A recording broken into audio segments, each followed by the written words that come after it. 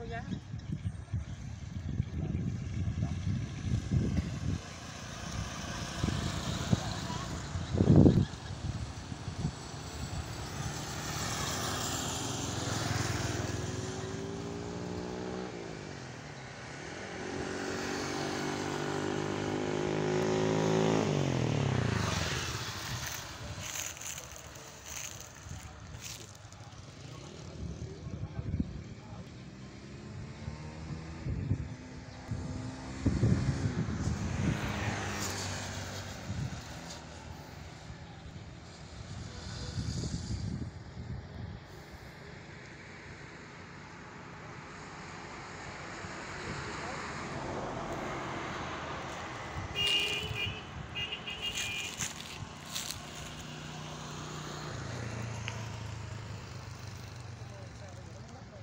thử thì nó đắp rồi chút đi ra sao khỏi mưa